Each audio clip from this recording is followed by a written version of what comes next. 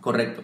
Entonces, vamos a entrar un poquito más en Sí. envase, ¿no? Mira, por ejemplo, el 65% se envasa en botella, más lata también, ¿eh? Exacto, botella lata Ahí. es el 65% de todos los litros que se producen Exacto. al cabo del, del año, ¿vale? Sí. El 35% se envasa en barril. ¿eh? Vale, perfecto. ¿Vale?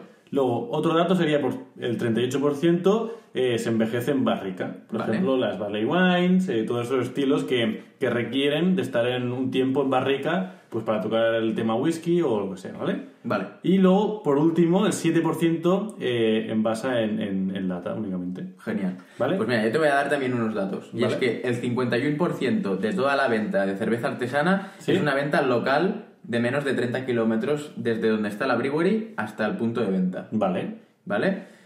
El 33% de materia prima es local.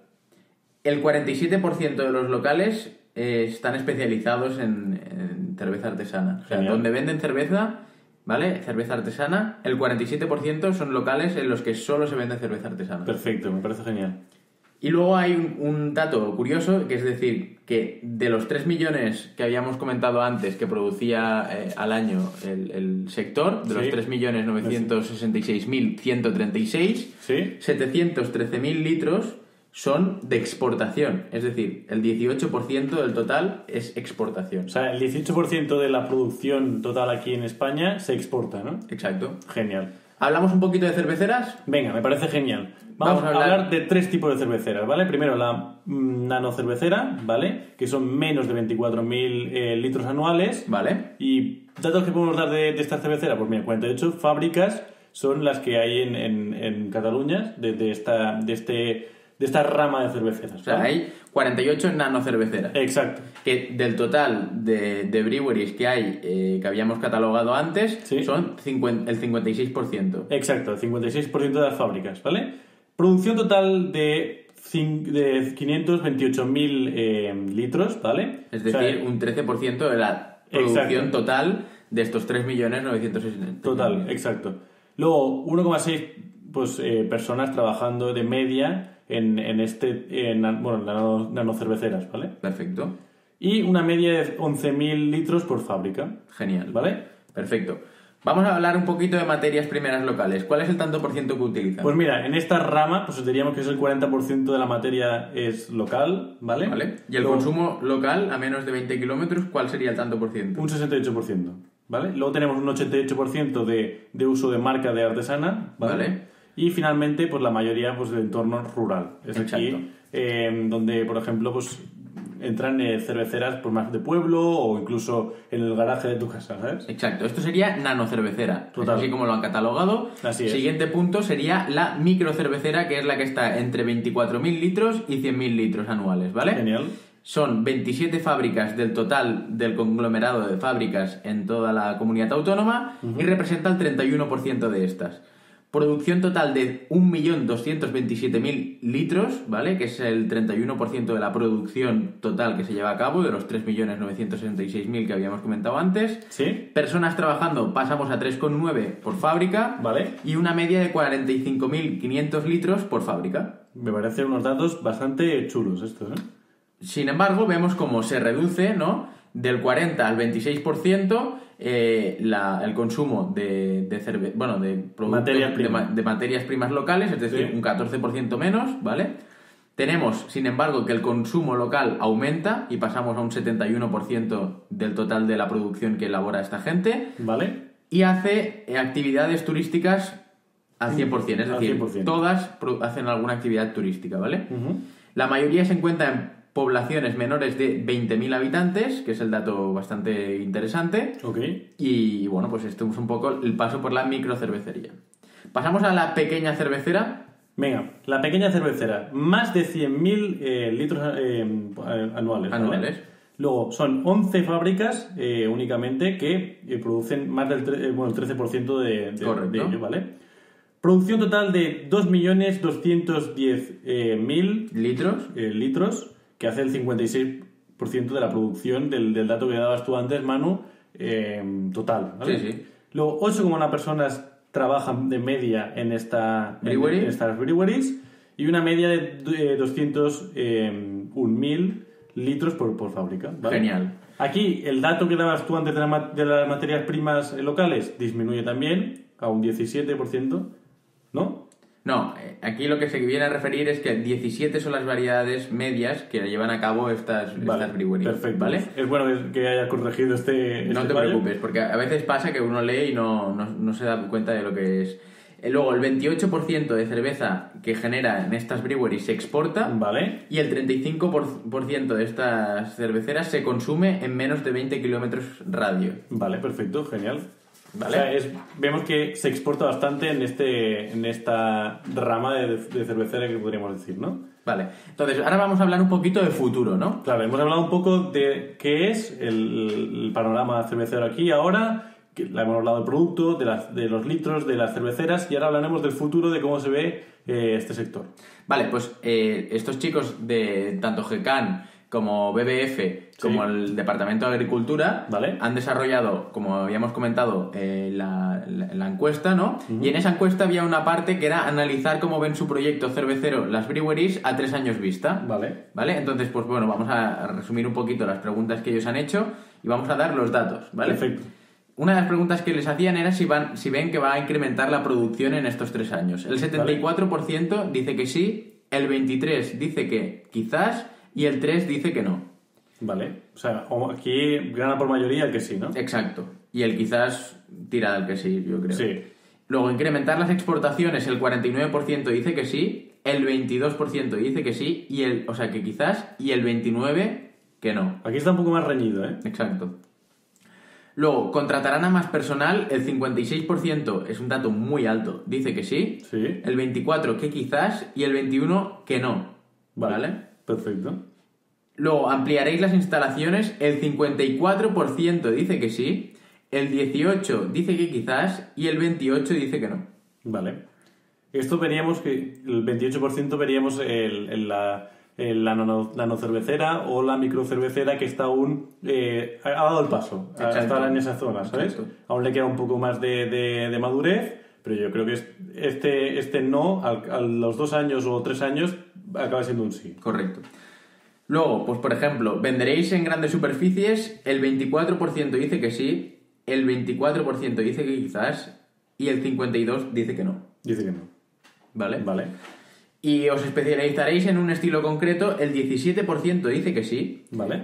el 34% que quizás y el 49% que no. O sea, aquí vemos que las cerveceras no se mojan en un estilo concreto, que quieren producir mucho de, de- de variedad y, y la gente pues eh, no tenga solo una IPA en, en mi, en mi portfolio, sino que hay mucho más, ¿no? Exacto. Encuesta realizada al público. Vale. ¿Vale? Tuvieron 1.375 respuestas, de las cuales el 68% eran hombres y el 32% mujeres. Vale. ¿Vale? La primera pregunta es nivel de conocimiento. Vale. ¿Vale? Un 13,7% dijo que era, Experto, un 57,7% dijo que era, aficionado, un 11,7%, ocasional, un 14,5% novato y un 2,4%. y pues un inculto. Que O no- sea que hay muchísimo aficionado, ¿eh? mucho experto Vale. y mucho novato. Exacto. Tenemos mucho de todo. Tenemos mucho de todo y hay que, hay que repartir para todos. El consumo, ¿vale? Vale. Vamos a, a dar los datos del 2017 y del 2013 para que os hagáis una idea, ¿vale? Vale. Consumo esporádico en 2017 fue del... 10% y en 2013 del 4,1%. Vale. Entonces, consumo de una o dos cervezas al mes Vale. en 2017 era del... Un 20% Y en 2013 un 15%. más de... Bueno, no, perdón. Una o dos a la semana, es decir, al mes entre 4 y 8. Vale. Pues un 37% en el 2017 y un 25% en el 2013. Más de 3 a la semana ¿Vale? en Es 2017. un 33% en 2017 y un 19% en 2013. Correctísimo. Un aumento bastante escalonado, ¿eh? un, bastante grande. Vale, entonces vamos a hablar de si bebían local o de importación. Perfecto. Solo local en 2017, 4,4%. o sea que el 4,4% de la gente bebía solo local. Exacto. Y en 2013, Un 7,4%. perfecto. Mayoritariamente local. 41% en 2017 y un 21,2% en 2013. Medio medio, es decir, half and half, local y importación. Perfecto, pues es en 2017 un 42% y en 2013 un 22,3%. Mayoritariamente importación, Pues un 8% en 2017 y un 25,7% en 2013. solo importación 0,1 en 2017 y 4,3 en 2013. y como todo hay gente que no lo sabe, entonces bueno, en Pues- 2017 la gente que no sabía lo que bebía era un Un 4% nada más, con respecto al 19,1 del 2013. pues lo que podemos analizar de aquí es que eh, digamos la gente consume mucho más local eh, en detrimento de todo lo que es importación Sí. porque el nivel de la cerveza artesana ha mejorado mucho en, en nuestro en nuestra comunidad autónoma Sí. y bueno es lo que nos lleva a estos a estos datos Vale. vamos un poquito a la imagen de la cerveza artesana aquí te lo dejo a ti que eres el de marketing entonces Vale, bueno, pues mira, ya para terminar este gran programa que, que tenemos hoy de, de información, vamos a hablar un poco más del panorama eh, global, ¿no? Vale. Daremos algún dato que parezca, parezca un poco marketing también, pero bueno, imagen de cerveza artesana, ¿vale? Eh, la mala, o sea, una imagen mala, Mala. Una, ima- una imagen que Sí, no apetece Exacto, es un 0,1%. Que sea pobre, que no atraiga al consumidor, pues un 1%. Que sea correcta, que digamos, bueno, más o menos da el pego, ¿vale? 3,9%. Una buena sería aquí ya un aumento bastante considerable, que es el 37,5%. Y una excelente, que digas, esta cerveza lo tiene todo, etiqueta, sabor, todo, 57,5%, ¿vale? Vamos a hablar ahora del consumo de cerveza, dónde Exacto. se produce. Mira, el 51% eh, se consume en casa, Vale. ¿vale? O sea, O sea, en las catas es que decíamos nosotros ¿eh? de estos días de Navidad. Exacto, exacto. Las catas en casa o tranquilamente viendo un partido, lo que sea, en casa. Luego el 49, coma- eh, bueno, 49%, perdón, en restauración, en, en- en un bar, en sitio eh, pues especializado en ello, ¿vale? Vale, entonces vamos a hablar ahora de dónde se compra. El 81% de esta cerveza artesana se compra en tiendas especializadas, Genial. el 32% en grandes superficies ¿Sí? y el 12% en online. En online, ¿vale? Perfecto. Vemos que lo que gana aún es la tienda especializada en cerveza artesana. Luego, ¿por qué eh, compran eh, cerveza artesana? Pues mira, el 71% dice que compra cerveza artesana por curiosidad, por probar algo nuevo, Vale. mientras que el 66% por conocer la cervecera o la cerveza en cuestión, Sí. el 42% por la orientación personal cono- del conocedor, Sí. el 19% por el diseño de la etiqueta Sí. y el 10% por puntuaciones en web especializada. Exacto, pues vemos en aplicaciones que, bueno, nosotros eh, tenemos... Esta alarma que ha sonado es porque estamos haciendo un programa de narices, ¿eh? Sí. Entonces, pues bueno, es así a modo divertido. es un poco más divertido, estamos dando un dato pues que tilín tilín, ¿no? Entonces, eh, puntuación en web, ¿por qué? Porque hemos dicho en las aplicaciones que nosotros aún no estamos eh, muy a favor, porque por Bueno, sirven motivos. para lo que sirven, entonces bueno, un día ya hablaremos de esto, que es muy Total. interesante. Bueno, pues pasamos a hablar un poco de valores aso- asociados a la cerveza artesana. ¿Vale? Tendríamos que el 82,2% del producto es de calidad. Exacto. Luego veremos que el 63,5% es producto local, que es de, de aquí, que bueno que la gente ve eh, un valor añadido porque es de la población, ¿no? Exacto. El 57,2% hay diversidad de estilos. Total. El 42,5% pues producto independiente, ¿no? como decías tú bien antes, Manu, al principio, que no tienen ninguna relación a, pues, a ninguna cerveza industrial, que, que- que, bueno, trabajan por ellos mismos, ¿no? 35,8% producto gastronómico. Sí. 26% producto sostenible. Y finalmente un 7% producto de moda. ¿eh? Genial. Pues oye, nos ha quedado un programa niquelado en el que creo que hemos explicado muy bien este estudio que se llevó a cabo por parte de- del BBF, del GECAN y con la ayuda de la comunidad, bueno, de la, La Generalitat. de la Generalitat.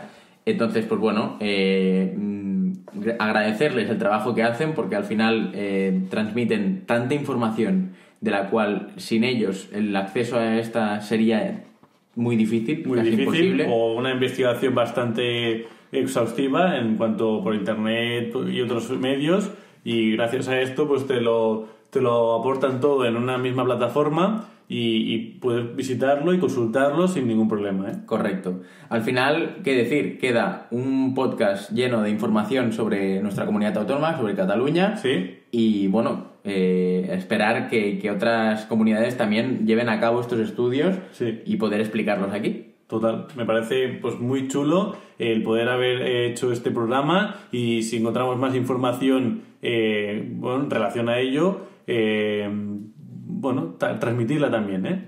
Sí, entonces, bueno, pues hasta aquí el podcast de hoy. Tan solo deciros